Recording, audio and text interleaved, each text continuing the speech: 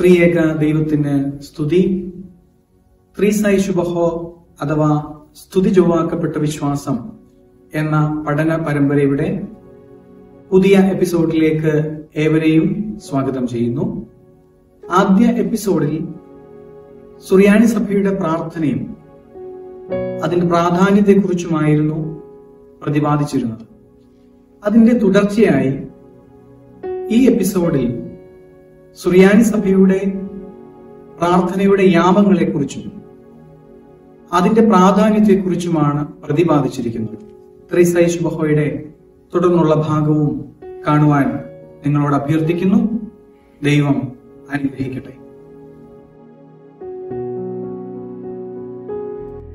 The common or ordinary daily prayers of the Syrian Orthodox are known as the Shemo. The themes of the daily prayers in Shimo are as follows Sunday, we celebrate the resurrection of Jesus Christ. Monday and Tuesday, the theme is repentance.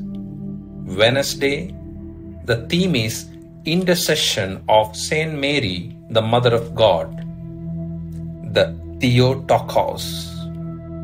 Thursday, the theme is intercession of the saints. Friday, Holy Cross and Crucifixion.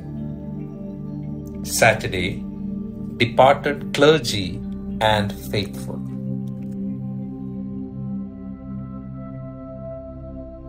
In accordance with Psalms chapter 118, verse 164. Seven times a day have I praised thee for thy judgments, O righteous one. And as a continuation of the Jewish tradition, the Syriac Orthodox Church has set the times of prayer to seven. The seven prayer times are evening prayers or vespers, sutoro or prayer upon retiring, midnight prayer, morning prayer, third hour prayer, sixth hour prayer, and ninth hour prayer. What do these seven times of prayer emphasize? Our church father, Mor Gregorios Bar Hebraeus, explains as follows. Number one, evening prayer. The Syriac Orthodox Church has placed evening prayer first, as in our ecclesiastical tradition, a new day begins with the evening. We give thanks to the God who has given us night so that we may rest after the toils of the day. Number two, Sutoro prayer or prayer when retiring to sleep.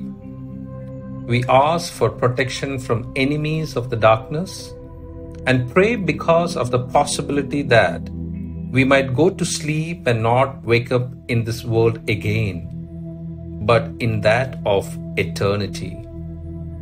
Number three, midnight prayer. We pray meditating on our Savior who passed a sleepless night before his passion at the Garden of Gethsemane and taught us to always stay awake and pray so that we may escape from the evil one and his powers. Number four, morning prayer. We pray to thank God who gave us yet another day. Number five, third hour prayer.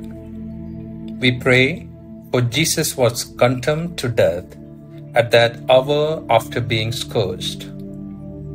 Thus, we reflect on his passion and thank him for bearing all the suffering for us so that we may escape the pain and suffering on the day of judgment. Number six, sixth hour prayer. This is the hour of Christ's crucifixion. We pray to ponder it and thank God for his goodness and love. Number seven, ninth hour prayer. We pray for this is Christ's actual hour of death. At that hour, the whole earth trembled and shook, and the whole creation shuddered at the dissimulation of the Jews. Laymen, however, not being able to keep the seven times of prayer, pray in the morning, at noon, and in the evening, as the psalmist says, As for me, I call upon God, and God saves me, in the evening, and in the morning, and at noontide. In the Old Testament, we can see that Daniel too was to be found in his upper room with windows open towards Jerusalem, kneeling humbly three times in the day and praying in the presence of his God.